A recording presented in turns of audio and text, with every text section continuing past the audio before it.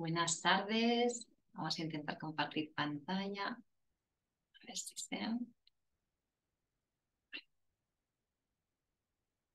Ahora creo que ya está. Bueno, buenas tardes a todos y muchísimas gracias por la oportunidad de otro año más de invitarme y de poder compartir mi experiencia. Eh, bueno, primero agradecer a todos los profesionales, algunos presentes aquí y otros no, no, no han podido estar, somos una mínima representación, pero agradecer todo su trabajo, ¿no? toda su profesionalidad, experiencia, conocimiento, implicación en, estos procesos, en este proceso tan largo y facilitando que vosotros pudierais volver a casa, ¿no? los trabajadores sociales, la enfermería que también están implicados en estos procesos a todos los familiares, cuidadores, referentes, amigos, personas significativas que haremos hincapié en, este, en, esta, en esta charla, porque ellos han sido los, los, detonadores y los que os han acompañado y fueron vuestra chispa motivadora para que vosotros pudierais volver a casa y quisierais volver a casa. A vosotros, los protagonistas, por saber encajar ese momento, por estar, por seguir, por sentir, por luchar y a los que os conozco personalmente, compañeros de ruta, que apareceréis aquí de una u otra manera, gracias, porque soy lo que soy y estoy aquí hoy gracias a vosotros y la verdad es que ha sido un privilegio, un regalazo poder aprender, acompañaros y sentir esta confianza que me tenéis. Bueno, si el año pasado poníamos el foco en la ocupación y hablábamos del proceso de rehabilitación, este año queremos insistir en que para llevar a cabo esa actividad significativa de la que hablábamos, ¿no? En plan, quiero comer, ¿no? Por ejemplo, hemos de generar un entorno, un entorno, un, espacio adecuado, generoso, respetuoso, cuidadoso, para poder llevar a nuestra nueva situación, para poder ofrecer más oportunidades a vosotros y dar más independencia. Si en ese, entorno no está, no tiene estas características, nosotros no nos podremos ir a casa tranquilamente. Y es que la vuelta a casa es el momento más deseado por todos los usuarios, ¿no? Estáis deseando volver a casa, pero a la vez es el más temido por, las, por, las, por los familiares, ¿no? por las personas que os van a recibir porque aparecen esos miedos y esas dudas, ¿no? Ir que menos que aparezcan esos miedos, ¿no? A saber hacerlo bien, a cómo compensaremos el cuidado de las enfermeras, les podremos dejar solos, cómo les ayudaremos a mejorar, qué apoyos necesito. Y es cierto que volver a casa requiere una planificación y una implicación porque habrá que cambiar cosas, habrá que retirar alfombras, mesas bajas, despejar espacios, más personal, ¿no? coordinarnos todos, cubrir los horarios, eh, algunos elementos nuevos. Bueno, yo siempre digo que los imprescindibles son saber y poder hacer bien las transferencias, ¿no? saber cómo hacerlas bien con seguridad para no haceros daño y, poder estar solo y saber avisar ¿no? en el momento que necesitéis ayuda. Porque volver a casa sí que tiene un impacto brutal ¿no? en todos y para todos, ¿no? en las dinámicas familiares, eh, y, en los hábitos ¿no? de cada uno de vosotros, de los cuidadores, pero también es verdad que a cambio surgen unas necesidades para el usuario que se convierten en grandes oportunidades, ¿no? aquellas oportunidades valiosas para, para poder ser más autónomos. ¿no? la necesidad de tomar un vaso de agua ofrece la práctica de levantarse, ir hasta allí, desplazarse, coger, alcanzar, coordinar, todas esas, todas esas oportunidades no se pueden dar o no se dan igual en el hospital. Por eso es importante la vuelta a casa. Si pensando en algunos tips, ¿no? Eh, pensaría lo importante que es anticipar y prever ¿no? qué voy a necesitar, ¿no? qué objetos, qué espacios eh, está normalmente la, ocupa normalmente la persona, qué es lo que voy a necesitar respeto está muy bien tener y es súper lógico, súper lícito, respeto pero no miedo, ¿no? Porque todo va a salir bien, ¿no? Seguro que va a salir bien, es un proceso largo.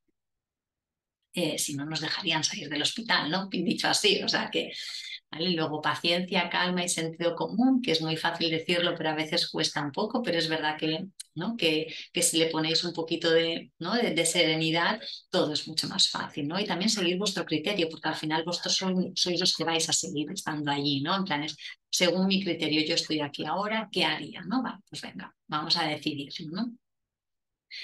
Facilitar al máximo y empezar con mínimos, ¿no? Es decir, no os pongáis grandes retos, grandes exigencias, no, empezar facilitando las cosas porque no es necesario ni sobrecargar a la persona ni a los cuidadores, ¿no? Que de momento empezamos luchándonos una vez cada tres días, pues ya está. Si de momento empezamos solamente eh, sin salir a la calle, pues ya está. O, sentándonos en la silla porque el sofá nos da más respeto, pues tranquilidad, ¿no? Y así ir haciendo. Y ya tendréis este acompañamiento, ¿no? Eh, creo que es importante pensar conjuntamente las decisiones con el usuario, ¿no? porque muchas veces por protegerlos decidimos por la persona, ¿no? manteniéndola un poquito al margen, ¿no? sin contar con su opinión, sin preguntarles qué se ve capaz, cómo lo prefiere hacer, dónde querría dormir, ¿no? si por ejemplo hemos de cambiar alguna estancia de la casa seguir con la rehabilitación siempre que se pueda, sería mi consejo porque pertenezco a rehabilitación y porque creo en ella, la verdad.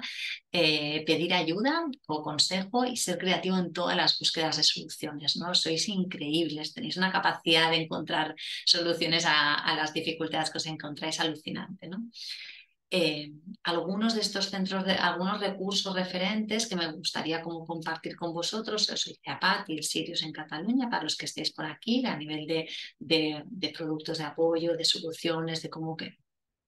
de los bancos de producto de apoyo para alquilar eh, algún, algún material eh, para valorar y, por algunas situaciones transitorias que creáis que pueden ser transitorias, consultar a los terapeutas ocupacionales o vuestro equipo de referencia y a la asociación ¿no? y a los grupos de WhatsApp de, que, os ayudáis muchísimo y que os dais muchas ideas entre vosotros. Vale, pues sí, algunos de los momentos claves que querríamos rescatar o identificar al menos para los que fuisteis o un poquito más justitos a casa, ¿no? O por el tipo de lesión, o por el criterio del hospital, o por las necesidades, ¿no? Eh, ¿A qué casa? Eh, algunos regresáis a casa de algún familiar, otros volvéis a vuestra casa pero en silla de ruedas, volvéis a la, a la misma casa de antes, a cuál, ¿a qué casa vamos a volver? ¿no? También otro momento clave de, este proceso es cómo fue la técnica para aprender a levantaros del sofá. ¿no? Es como un momento de decir, ya sé levantarme del sofá, ya puedo, cómo lo he conseguido, con qué seguridad. Eh, qué adaptaciones necesitáis para la ducha, creo que también hay que rescatarlo. Puedo dejarle solo en casa, necesita avisar por teléfono, necesita, avisadores, necesita el teléfono cerca, un poco con qué, con qué, con qué necesidades puedo, o sea, perdón, puedo dejarle en casa y cómo puedo dejarle en casa, ¿no? ¿Con qué, con qué tips? Salir sola a la calle, ¿no? Porque tengo ya el equilibrio, esa seguridad, puedo llevar pesos a los lados sin desequilibrarme. Eh, la importancia de ocuparse ocuparse otra vez de alguna responsabilidad, ¿no? De preparar el desayuno para los niños, de hacer la compra por internet, lo que sea, pero volver a retomar alguna responsabilidad que teníais vosotros. Y retomar, eso sí, alguna actividad anterior, aunque sea de diferente manera, ¿no? El gimnasio, el trabajo, la conducción, eso como... Creo que es uno de los pasos que habéis sido de los momentos claves, ¿no? Y que cada reto superado es una oportunidad para seguir avanzando, ¿no? Al menos así me lo habéis mm, compartido, me lo habéis hecho saber y me lo habéis compartido.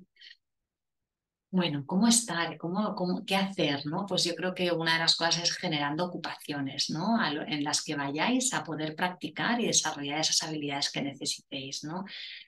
hay que generar ocupaciones, hay que plantear actividades, hay que proponer cosas, ¿no? Para que vosotros sigáis mejorando, ¿no? Si estamos en el mismo punto y nos quedamos igual de sentados, ¿no? Eh, en el mismo lugar, en el mismo momento en el que salisteis del hospital, no vamos a mejorar, ¿no? Generemos ocupaciones, propongámosles actividades nuevas, ¿no?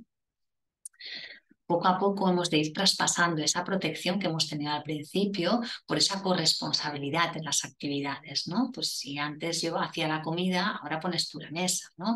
Antes yo hacía la comida, ahora tú eh, preparas el, ¿no? el, postre, no sé, como que, o, vas, haces algo tienen que poder hacer, tenéis que poder hacer, ¿no? Poco a poco, paulatinamente y cada uno con los niveles de ayuda que necesite, graduándolos y en el en el tiempo que requeramos, ¿no? Pero hay que ir haciendo algo. yo siempre digo entre, el, encontrar el equilibrio entre facilitar, incomodar e intentarlo, ¿no? Empezamos, pues, como son como esas fases, ¿no? Al principio facilitamos al máximo para que podáis sentiros bien, para que podáis desarrollar aquella actividad, pero luego poco a poco hemos de, ir incomodándonos, ¿no? Ir poniéndolos un poco más difícil para que podáis superar ese reto y lo volváis a intentar, ¿no? En, terapia ocupacional, el modelo de ocupación humana, hablamos de esas fases de exploración, de competencia, cuando lo hemos y de logro, ¿no? cuando ya es demasiado fácil y casi casi lo hacemos más automáticamente. ¿no? Eh, motivar para seguir estando en, esa, en, ese proceso de rehabilitación. Creo que es muy importante la labor de los, de los familiares aquí eh, y, validar esos pequeños pero grandes progresos. ¿no? Necesitan ¿no? Eh, poder validarlos y que alguien les vea la, importancia que tienen ¿no? y lo bien que lo hacen. Vale. Si pensamos en un, en un, día cualquiera, ¿no? se me ocurría hacer como un repaso general muy amplio, cuatro pinceladas en cada, en cada estancia, ¿no? para que aunque para muchos sea básico, para otros a lo mejor os puede resonar alguna idea, puede ser alguna cosa disparadora ¿no? para repensar y elaborar otras. ¿no?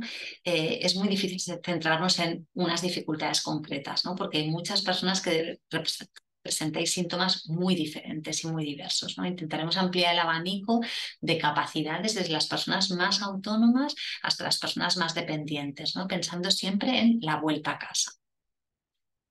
Con esta mirada, valorando al máximo cada uno de, desde su servicio, desde donde estáis, estamos, eh, aunque sería ideal que para la valoración a casa, pues eso, eh, sería ideal que pudiéramos ir antes de que vosotros volvierais a casa, ¿no? antes de que el usuario regresara a casa y poder valorarle in situ. Si no, a veces, pues eso, tiramos de fotos, tiramos de valoraciones, de entrevistas, de vídeos, de lo que sea, ¿no?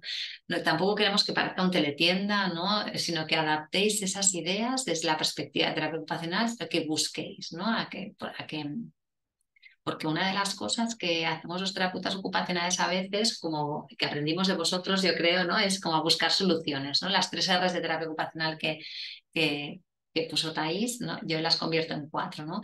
Buscar, buscar qué soluciones, ¿no? ¿Qué soluciones hay en el mercado, en las asociaciones, en mis amigos, en la red de apoyo, en el equipo que me ha planteado en Internet? ¿Qué soluciones veo yo? ¿Qué, estoy buscando? ¿Cómo las puedo convertir y mejorar y adaptar a mi solución? Pues, por ejemplo, nosotros encontramos un palo de, un palo de, ropa para ayudar a vestirse, para poder ayudar la, la, chaqueta, pero la persona necesitaba algo que fuera más pequeño, que se pudiera llevar al bolso. El palo de 50 centímetros que venden en la tienda no nos servía, ¿no? Bueno, pues pensamos un poco y adaptamos y convertimos esa, esa antena de radio o ese palo selfie, bueno, porque era una manera que sea extraíble y así nos permitía pues llevarlo en el bolso, ¿no? Y también como rescatar todo el movimiento maker, ¿no? Eh, créalo tú mismo, hazlo tú mismo. Y luego la, bueno, lo que me gustaría y que creo que cada vez estamos más, más puestos en esa mirada es que lo compartimos, ¿no? la importancia de compartir lo que hemos conseguido porque lo que me sirve a mí seguramente le puede servir a otros. Aquí simplemente, nada, citaros un poquito que con cualquier material, por ejemplo, estos churros de piscina que a mí tanto me encantan, que los destrozo, los desmonto, los desvalijo y puedo al menos mirar qué puedo hacer, ¿no? Al menos para tener esas ideas, valorar, que luego a lo mejor lo intento construir con un material más firme, más seguro, que me dé más, más, más consistencia o, o, más, o que me dure más, ¿no? Más durabilidad o al revés, ¿no? El mismo producto que yo he encontrado en, eh, internet o en, la, o, en la, en la ortopedia, ¿cómo lo puedo fabricar yo mismo con aquellas eh, materiales que me sean más cómodos, que estén más a mi alcance, ¿no? Pues eso, ¿no? Porta uñas con madera, con 3D, con, con cucharas y tenedores, un para picaros el gusanillo, ¿eh? de que vosotros podéis conseguir y crear muchísimas cosas. Bueno, si entramos en la habitación y estuvierais aquí delante, os daría unas preguntas disparadoras, ¿no? Para ver qué, para ver qué me contestaríais, ¿no? A ver cómo tenemos nuestra habitación, ¿no? ¿Cuál es tu cajón de la cómoda? ¿Es el de abajo? ¿Es el de arriba? ¿Te queda cerca? ¿Te queda, es extraíble? ¿Es abatible? ¿no? Como son las puertas para acceder al, a los armarios. Necesitas tirar ese paso para atrás que te desequilibra, por ejemplo, que algunos esto lo habéis notado, ¿vale? ¿Alcanzas a, a decidir y a coger las ropas, las prendas de tu armario? Puedes abrir los pomos o las puertas, eh, dónde están los zapatos, dónde colgar y cómo y dónde te puedes vestir, ¿no? Bueno, todo eso para empezar y luego también rescatar la, importancia de la cama, ¿no? Porque es el elemento que facilita nuestro descanso, es la actividad cotidiana que hacemos durante más horas al día, ¿no? Y para vosotros en un momento inicial, además es súper importante poder descansar, ¿no? ¿Cómo es nuestra cama? ¿Dónde está ubicada? Eh, ¿Qué agarraderas tiene? que no sean las, las, ventanas, por favor, ¿no? que sean unas agarraderas seguras, eh, que sean unos elementos que, que puedan favorecer esta entrada y salida de la, de la cama. Y lo demás ya veis aquí, ¿no? En plan de evitar las, evitar las alfombras, favorecer eh, luces tenues en el pasillo, etc. El vestido, bueno, pues que, que, no, que podáis seguir usando las camisas si las usabais, aunque sean con botones de mentira, de que repenséis de qué prendas habéis, habéis prescindido durante tanto tiempo, ¿no? Las, las queréis volver a recuperar, ¿no?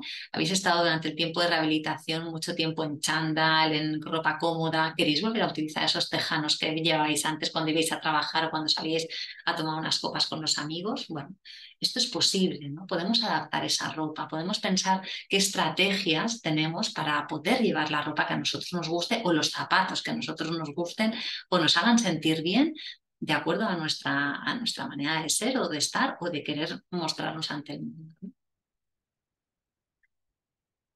En la higiene, bueno, aquí veis como algunos elementos, sobre todo querría destacar la importancia todos los elementos que, implican toda la, el, hombro y la, y la actividad superior del, del, perdón, y la actividad del miembro superior, ¿no? sobre todo para llegar a la cabeza, para peinarnos, secarnos, lavarnos el pelo, para llegar a los pies, ¿no? Como las dificultades que normalmente tenéis. Y esa fuerza, esa pinza, pues para, para poner la pasta de dientes o para, o para usar el corta uñas, esto ¿no? que hemos comentado antes. Bueno, en el baño siempre pedimos, o al menos yo soy súper pesada en esto, de seguridad al máximo. ¿no? Es mejor priorizar la sedestación y no arriesgar, ¿no? No vale la pena. El lavabo es un lugar que estáis, mm, que estáis desnudos, que estáis mojados, que es, ¿no? que es muy pequeño, que no hay elementos tan, tan, tan fuertes y tan seguros para agarrarse. ¿no? Yo también siempre digo que recomendar pedir consejo antes de hacer obras, ¿no? Porque no siempre un sumidero es la mejor. Quitar la bañera es lo mejor, ¿no? Primero que muchos no tenéis posibilidad de quitarlo o tan fácil, eh, que eso implica unas semanas que tampoco a lo mejor no las tenéis. ¿Y por qué eso? Porque a lo mejor hay otras, otras opciones, ¿no? como la tabla, como el, el asiento giratorio, que las podréis probar y a lo mejor os dan una salida, al menos por un tiempo, al menos transitoria, que a lo mejor es lo que necesitáis, ¿no? y mirar la regulación del, del, váter, ¿no? Hay muchas opciones, ¿no? Podemos poner el váter en alto, podemos poner un alza de, de váter, un pie de obra o un váter de altura regulable, ¿no? Pero pensar como en los dos elementos en la alimentación, bueno, pues casi todos de vosotros habéis probado estos cachivaches, ¿no? Que dice Carmen que, que, tengo, ¿no? Pero bueno, un poquito para, bueno, para probar y para facilitar esos agarres, alcances, prensiones que muchas veces no tenéis al principio esa fuerza, esa consistencia, esa seguridad para poder eh, ser autónomos ¿no? y poder comer solos y poder preparar vuestra, vuestra cocina, ¿no? vuestra comida vuestros, y poder beber. ¿no? Esto lo habéis probado casi todos en algún punto determinado. ¿no? Bueno, en la vuelta a casa, ¿se necesitan esos elementos todavía o no se necesitan? Simplemente que lo, que lo, que lo revisemos desde esta, desde esta mirada. ¿no? Cocinar igual. Para mí cocinar es una actividad instrumental súper importante que os da mucha autonomía para quedaros solos, que os hace sentir bien muy a, nivel social, familiar, de dinámicas, ¿no? que, es una manera que tenemos mucho de socializarnos ¿no? también. Entonces, bueno, que también tengáis esta oportunidad de aunque sea facilitando, pues bueno, pues algunos elementos los compraré precongelados, hay congelados, precocinados o medio hechos, lo que sea, pero también yo podré participar de otra manera, ¿no? Máxima participación en todo lo que podáis. Vale, y aquí, bueno, pues queríamos como destacar la, gran cantidad de secuencias que, que, se necesita para hacer una tarea tan aparentemente sencilla como hacer una tortilla, ¿no? Todos los requerimientos tan diversos, ¿no? Pues, y que también sepáis que no tenéis que renunciar a ello, ¿no? Porque muchas veces hay algunos productos de apoyo que nos pueden ¿no? Eh, ayudar para, para que podáis seguir teniéndolo, ¿no? Aquellos productos que nos ayudan y otros diréis, no, pues yo de momento mm, todavía no es mi momento de cocinar tortilla, ¿no? Y si eso no, eh, y si eso es importante para ti o era importante, ya lo seguiremos teniendo en cuenta como en los objetivos pendientes y trabajaremos los pasos necesarios y simultáneos y previos para recordar, ¿no? Para, para volverlo a intentar, ¿no? Pero sí que sepáis que eso, ¿no? Que que cualquier actividad, por simple que parezca, para vosotros es un gran reto, que implica muchas secuencias y que hay que analizarlas todas para saber si podéis o no podéis hacerla o en qué momento necesitáis un apoyo. ¿no? Un bote de cristal para batir un huevo, a lo mejor es más fácil que batirlo como hemos aprendido. Una doble sartén os facilita para dar la vuelta a la tortilla y así podéis hacerlo. Si hablamos de sedestación, bueno, pues cuatro cosas. Facilidades para, sentar, para levantarnos es cuanta más altura, ¿no? Cuanto más alto esté, más fácil será. Cuantos más apoyos tengan, más fácil será. Y cuanto más rígido sea el asiento, más fácil será. A partir de ahí podemos jugar con todas las posibilidades y, las, y las mm, y lo que yo decida, ¿no? Dónde quiero estar, aunque me cueste mucho levantarme del sofá, yo prefiero estar en mi sofá, ¿no? Pero si le puedo poner unas alzas, a lo mejor luego me levanto mejor. O pues está este taburete que yo soy súper fan, ¿no? Para poder cocinar, por ejemplo, como lo que hablábamos antes, ¿no? O este cojín catapulta que me, que me ayuda a levantarme por mí solo, ¿no? Por, y no necesito de nadie. O la silla vela, que es el Ferrari de las sillas, ¿no? Que es así que me levanta, me permite trasladarme, trabajar de pie, frenar, bueno, en fin, mil cosas que algunos ya las habéis probado el cuidado de la casa, pues no facilitemos la vida al máximo. O sea, ¿cuántos nosotros tenemos rumba, bueno, como se llame, ¿no? O, fregona facilitadora, ¿no? Que, que, se, que se escurre mucho más fácil sin, sin, golpearnos las manos, o carritos que cada vez van más ligeros, ¿no? Entonces, bueno, un poco, o planchas más livianas que, que no pesan tanto. En fin, ¿no? Como replanteemos facilidad, ¿no? Facilidad al máximo el acceso a la vivienda y a los coches, no nos entretendremos, pero que pensar que casi todo es posible, ¿no? Y, en el momento que vosotros necesitéis, en esta vuelta a casa no sea lo prioritario, estoy segura, ¿no? Ni que, ni que podáis conducir, ni adaptar todo el coche, porque es un dinero, evidentemente, porque hay que replantear, porque hay que esperar un poquito a ver cómo va el proceso, ¿no?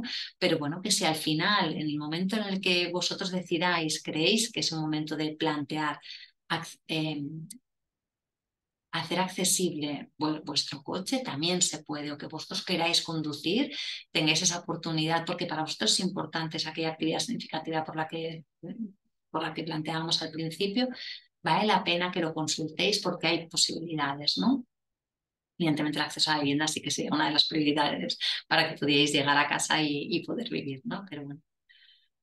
Vale, bueno, algunas otras ideas de forma, para nivel de formación, de estar, de, ¿no? de reposabrazos, agarradores, engrosadores, ratones más, mm, más fáciles de, de usar, tijeras más cómodas, más ergonómicas rol es lo mismo, ¿no? Pensar, em, yo soy padre, ¿no? Por ejemplo, y es que cómo tengo mis hijos, ¿no? Puedo hacerme cargo de ellos cuando están en la cuna, quiero una cuna más adaptada, quiero un carrito más elevado para yo poder escoger, quiero un, eh, un poco como qué, necesito, ¿no? En, este momento vital de mi vida.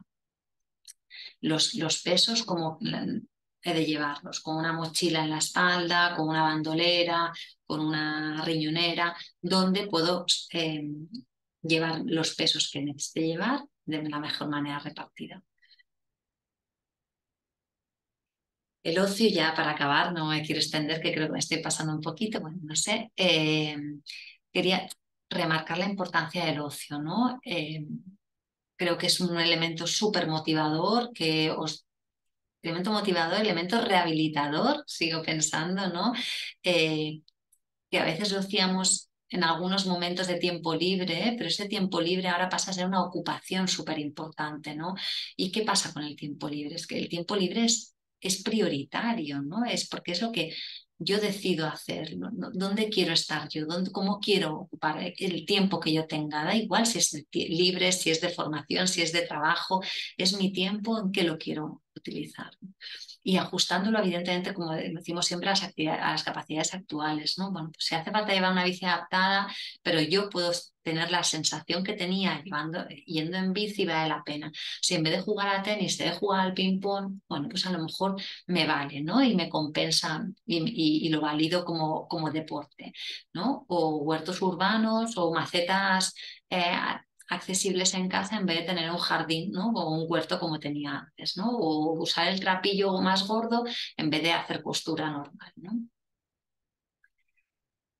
Em, lo de las fases me resonaba un poco como, como resumen, ¿no? Porque cada uno de nosotros hemos hablado, ¿no? De los otros profesionales hemos hablado en diferentes momentos, ¿no? Pero hacer hincapié que cuando en la fase aguda estamos priorizando el diagnóstico y en la fase subaguda la rehabilitación en la crónica, que es la que estamos intentando hablar ahora, ¿no? como en la fase de, de, vuelta a casa, ¿no? de las secuelas, ¿no? la importancia de ahora qué tengo, con lo que tengo, qué quiero hacer, qué puedo hacer. ¿no? Eh, cuando en la aguda estamos empezando ¿no? y tenemos ahí una chispa, una motivación, unas esperanzas, unas expectativas, en la subaguda seguimos mejorando, en la crónica los avances son mucho más lentos y, los avances es el mantenerse. ¿no? Y eso es muy difícil de, de, de, transmitir, pero es súper importante. Avances lentos son avances y mantenerse son avances, ¿no? Y hay que seguir ahí. Si en la fase aguda estamos diciendo que estamos facilitando al máximo para que la persona se motive y pueda y vea esos, esos avances, en la subaguda ya estamos incomodando y estamos poniendo ahí como algunas cosas un poquito más difíciles. En la crónica a veces nos hemos de reinventar, decir, vale, aquello que intenté ya no lo puedo conseguir, pero ¿qué puedo hacer ahora en vez de, no? Pues eso, decir, a tenis a lo mejor no puedo jugar, pero a ping-pong puedo jugar. ¿Cómo me ajusto yo a las capacidades que tengo actualmente después de haber pasado por estas fases? En la fase aguda estamos en el hospital, en la fase subaguda estamos en casa en el hospital y en la crónica estamos en la vida cotidiana. ¿Cuál es nuestra vida cotidiana? ¿Cuál es la vida cotidiana que yo quiero? Eh, esto no lo digo como negativo la crónica, la crónica es el día a día y es lo que me espera de aquí en adelante. Entonces, ¿cuál es mi actitud de enfrentarme a esas secuelas que cada vez me cuesta más avanzar, pero que, seguir estando es mantenerse? Cómo me reinvento, en qué ocupo mi tiempo, cómo decido ajustar aquellas capacidades que tengo para poder hacer las actividades que me interesan y con cuál es mi vida cotidiana. Y respecto a los modelos de vida, ya sí que para acabar una reflexión y, que, y para los más veteranos, para los que lleváis más tiempo, ¿no? me gustaría compartir esto que me, que me preocupa y que me ocupa ¿no? desde hace un tiempo, es cómo es vuestro día a día ¿no? en casa y cómo nos reinventamos, ¿no? de lo que hablábamos antes. Algunos en más o menos tiempo o con más o menos ajustes habéis conseguido volver a ocupar el lugar de trabajo que teníais, el rol en la familia, las aficiones de antes, es increíble, ¿no? Es, y, os felicito por eso, ¿no? Es, es alucinante y muy admirable. Pero otros, aunque hayáis hecho un progreso espectacular y habréis logrado, habéis logrado niveles de independencia muy óptimos para las actividades de la vida diaria básicas instrumentales, hay cosas que han cambiado. ¿no? Y, y no tenéis el mismo trabajo de antes o no practicáis las mismas aficiones. Y esto es así. Entonces, y, no tiene que ser en negativo, es, es lo que es, ¿no? Un poquito. y aunque yo al menos no, no valido el modelo de sobreocupación que, en el que nos encontramos algunos de nosotros, ¿no? Muy a menudo, y no creo que sea el más saludable, ¿no? Estar ocupado todo el día, todo el día, todo el día, sí que creo que hay que, que, tener esa satisfacción con nuestra vida, ¿no? Y que sea una vida plena, no llena, ¿no? Eh, que sea vida eh, satisfactoria, con actividades bien seleccionadas, ¿no? ¿no? No, hace falta que sea repleta. Y, sí que vale la pena preguntarse, ¿no? ¿En qué invierto yo mi tiempo? ¿Qué ocupaciones me hacen feliz? ¿Qué me da seguridad? ¿Qué me da confianza? Y cambiar el formato o, el enfoque, ¿no? Aunque sea la misma actividad, lo que cambia es el enfoque, la mirada, la significación que yo le hago a, a esa actividad. Y algunas de las actividades que en algún otro momento las hubiéramos catalogado como ocio, ahora se pueden convertir en mi principal ocupación y las resignifico desde ahí. Y le damos ese lugar, es mi principal ocupación. Y si antes la bici era rehabilitación, ahora puede ser mi medio de transporte o puede ser mi ocio. Si antes yo iba a rehabilitación, ahora puede ser el gimnasio, mi, mi actividad principal.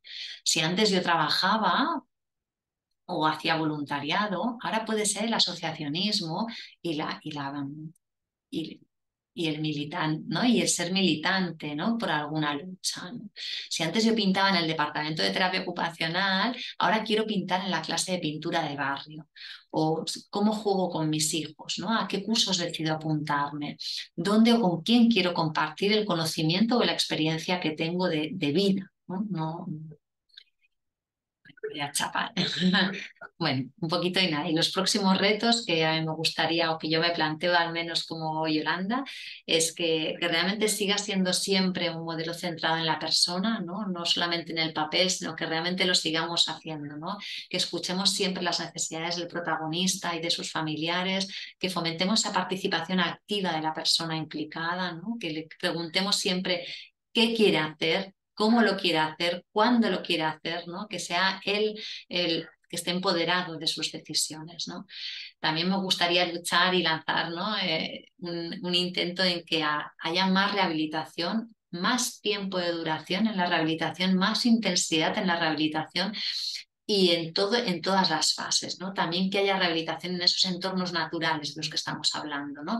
En el parque, cuando juegas con tus hijos para ver cuál es el mejor parque que tienes cerca para, para poder ir, en la piscina donde tú vas del barrio, en, en tu casa, evidentemente, ¿no? En cuáles son aquellos lugares naturales donde tú quieres que el terapeuta ocupacional vaya y explore y te analice cómo lo podrías hacer mejor y, bueno, y, que, y que haya más oportunidades de vida, ¿no? Que, bueno, que ojalá en un mundo mejor ¿no? podamos tener unos puestos laborales con más apoyos o más ajustados a esas necesidades que cada uno de vosotros tenéis. ¿no?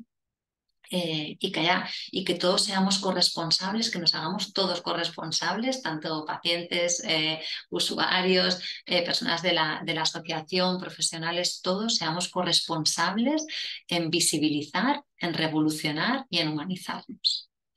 Muchísimas gracias por estar, por hacer y por ser, confiando eso, que las pequeñas acciones sean motor para construir un mundo algo más amable, sensible y con oportunidades para todos. Muchísimas gracias